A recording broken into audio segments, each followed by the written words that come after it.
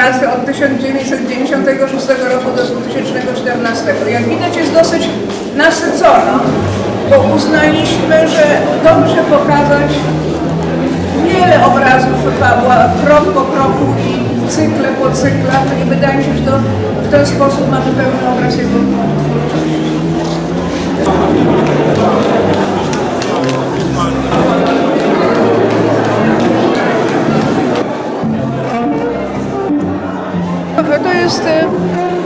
Wystawa, można powiedzieć, e, retrospektywna, bo jednak obejmujemy e, właściwie takie wystawy się robi klasyką, więc on w jakiejś mierze jest klasykiem, bo jednak pokazuje ta wystawa jego kolejne etapy, więc to jest dobre, bo jak się obserwuje właśnie drogę twórczą, widać e, od czego się wychodzi i na czym się kończy, albo gdzie, czego się poszukuje, to tutaj mamy taki pełny obraz.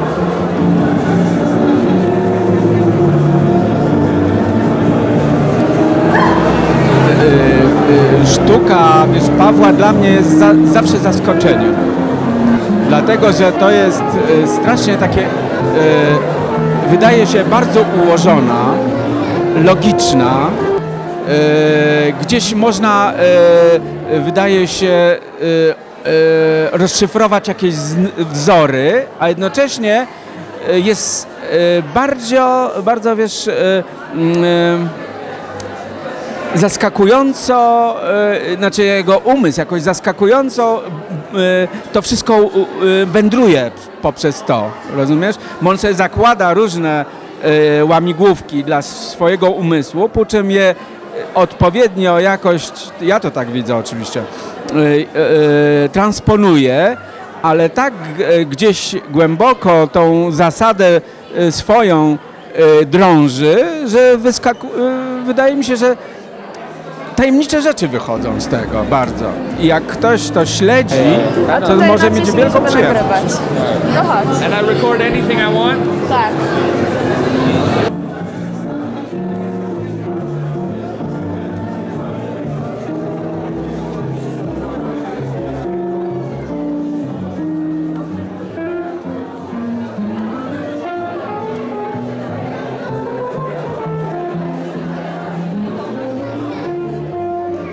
Jak oceniasz dzisiejszą wystawę, jako że znasz Pawła osobiście od wielu lat? Czy uważasz, że poszedł w dobrym kierunku zamiast muzycznym właśnie w malarstwo? I w ogóle, czy taka sztuka Ci się podoba? Ja już e, obrazy Pawła znam oczywiście nie, nie od dzisiaj, e, ponieważ e, znamy się no, ponad 30 lat. Byliśmy swego czasu nie, nie, nie, nierozerwalnymi i najukochańszymi przyjaciółmi. E, Potem troszeczkę się to e, rozmydliło, ale od, od, od paru lat e, znowu zostały zadzierżgnięte e, stosunki. Ja mówię, że on, on maluje tak jak gra na saksofonie. E, Myśmy zaczęli razem grać, kiedy no właśnie w tym okresie najgorętszej przyjaźni i Paweł, mm, e, było dla mnie jednoznaczne, że Paweł musi być w moim zespole, mimo że nie potrafił grać na żadnym instrumencie, ale jest niezwykle zdolny i właściwie już pewien swój styl wypracował po paru tygodniach w ogóle grania i ten styl jest taki e, dla mnie paralelny w ogóle z tym, co on e, teraz maluje na, na płótnach. O, o ile na płótnach maluje, bo wiem, że na, na, na różnych rzeczach się maluje. E, także e, są to piękne w ogóle, e, piękne obrazy i e, dumny jestem, że jestem nawet w posiadaniu jednego. Ale jego tu nie ma oczywiście. E, Co w ogóle myślisz na temat malarstwa w Polsce? Czy malarze polscy, e, czy się w ogóle wybijają na tle innych narodów? Czy to właściwie nie ma znaczenia? Czy w ogóle Polska jako kraj chłonie e, sztukę? Wydaje mi się, że to nie ma znaczenia. Sztuka jest, wiesz, jak gdyby takim medium uniwersalnym i to nie ma znaczenia, czy to jest w Polsce, czy w Afryce, czy wiesz, czy w Los Angeles, Londynie, czy Paryżu. Po prostu równie dobrze mógłbym być teraz w Los Angeles na, wiesz, na wystawie Pawła i wydaje mi się, że było równie wspaniale. Czy w ogóle polscy malarze się różnią czymś od europejskich, amerykańskich? Na jakim poziomie jest ta sztuka dzisiaj? Nie uważam, że jest na bardzo dobrym poziomie i niczym się nie różnią, tylko po prostu szanse mamy o wiele mniejsze. I to jest dramat narodowy, bo niestety za sztuką stoją pieniądze, a za pieniędzmi e, stoją kolekcje i tak dalej. Natomiast tutaj nie ma, jest bardzo mało galerii niestety, a to właściwie galerie ciągną sztukę i artystów, a na odmianę te instytucje związane ze sztuką jakby są skupione na dosyć wąskiej grupie artystów i już tak zwana trampolina demokratyczna nie istnieje, w związku z tym sytuacja artystów w Polsce jest bardzo zła. Natomiast e, jeśli chodzi o poziom, to jest bardzo dobrze. Bardzo, lubię chodzić na wystawy polskich artystów, tak, bo jakby uważam, że jest ogromny potencjał a w nich, natomiast z różnych powodów ten potencjał nie ma jakby możliwości ujawnienia się, tak?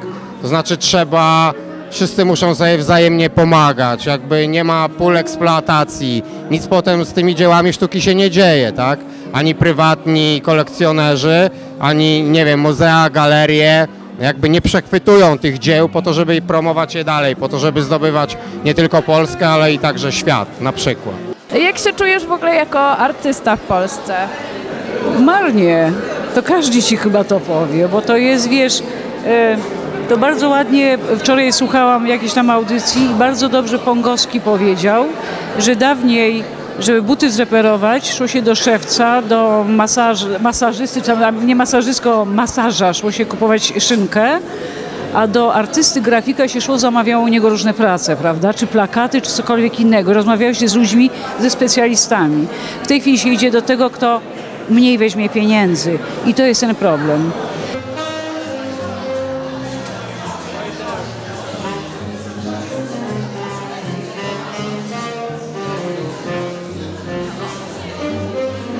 E, Ja uwielbiam Pawła obrazy z e, wczesnego okresu.